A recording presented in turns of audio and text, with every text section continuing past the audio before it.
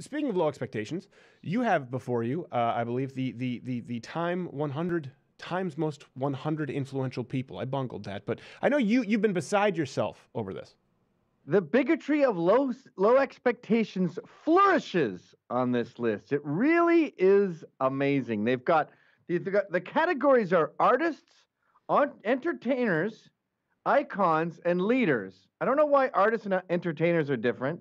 I don't know why right. icons and leaders are different. And the criteria that they've chosen for this starts Wait, how with, is Kamal Khundjani, the guy from Silicon Valley, how is he on the top 100 most influential list? Well, first let, let me explain the priorities. It goes visible minority, good for diversity, then woman, and then are they influential at all? And that's number three. Well, you know what? This would also say that there's a bias uh, for trannies who are what they call the barely passables in the mm. community. Because it's a, if it's a passable, they wouldn't be a visible minority. No. So it's got to be someone who you're like, well, they're sprouting. That's the only way they make a list. Well, what does influential mean? I think it means, say, I was to say, everyone, you got to go vegan. Everyone, vegan, vegan, vegan. How many people would go vegan? I think actors assume they have a lot of influence because they have 17 million followers. But that's just because people like looking at you or they like when you're James Bond or something. It doesn't mean we're going to you for our education policy. So they're not influential. Yeah, well, you know that's a good point. It's a, we've talked about this before. If you look at late night hosts uh, on, on, the main networks and cable television, and if you look at their interactivity online for the size of the audience that you would think they have, it is unbelievably uh, remote. Uh, as a matter of fact, it continues to surprise me. Like, for example, when you look at Comedy Central, Comedy Central, the show Jordan Klepper is a new show. We were just talking about how, how terrible it is. It's after The Daily Show. Yeah.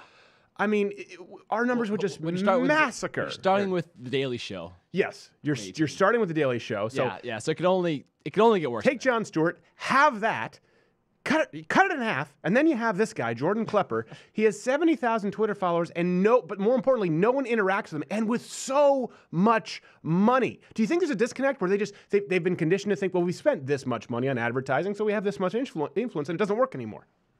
Yeah, that that's the huge mistake with this entire list. And Trevor Noah is on the list, by the way. Oh. Every it seems like there's there's like a third black woman, but they're all entertainers or underachieving writers who have put out a book or a poem or something.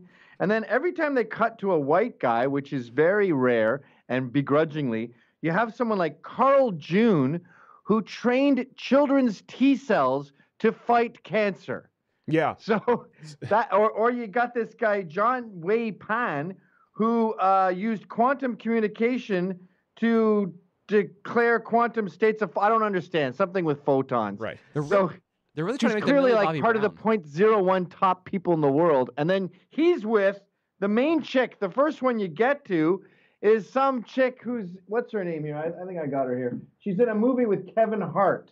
And uh, well, Tiffany Haddish. That's it. Tiffany and Haddish. Kevin Hart wrote the write up for her. Yeah, exactly. She's great. Well, uh, you know, so it's it's kind of like maybe the person who split the atom wrote her forward. Maybe that's how you maybe that's how you make the list. I, though I will say I saw Hugh Jackman on that list. Is that is that just because he's gay? what the, his, does everyone his not wife know is that? unattractive.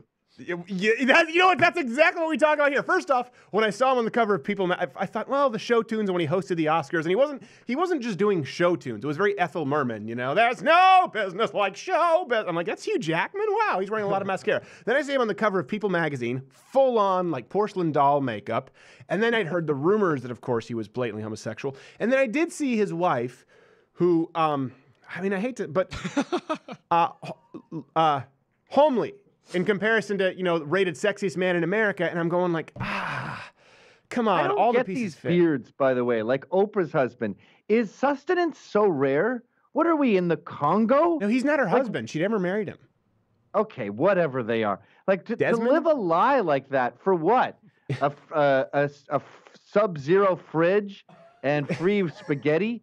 Like, well, I don't understand why you want to be a whore to some homosexual and not have your own life. Well, It- I'm pretty sure Stedman pathetic. is uh, he's he's getting free Oprah's favorite things goodie bags. So awesome. it's hard to fit a minivan in those bags, but somehow she does it.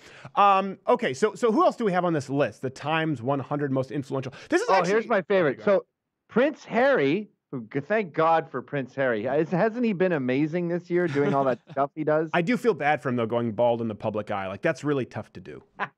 Actually, no, wait, his brother was the one. Sorry, Prince Harry. But I like Well- Prince Harry. Look, it's Donald Trump, pretty influential guy, right? Could start World War III. That's that's an influence. And then Prince Harry, I don't know, he went to a, a ribbon cutting ceremony and ate some cookies. And then his girlfriend. Well, she's Prince Harry's girlfriend. That matters. She t- touched some starving little Ethiopian kid on, patted him on the head. We need her in the mix. It, Sadiq Khan. Well, like you got Sadiq Khan and Justin Trudeau. They are influential in that Sadiq ruined London and Justin Trudeau is ruining Canada. That's How do they put together this list and not, you know, how do they not have a footnote?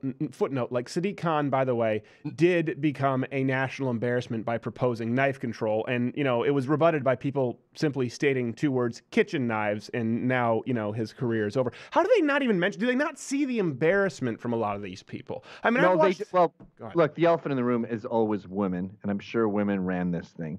And uh, there I don't think I don't think with time it's women. I think it's gay men in New York. I think it's it, it's gay LGBTQ AAIP men in New York who want to make themselves feel good. You're, you're neck of the woods, Gavin. What's going on there? Yeah.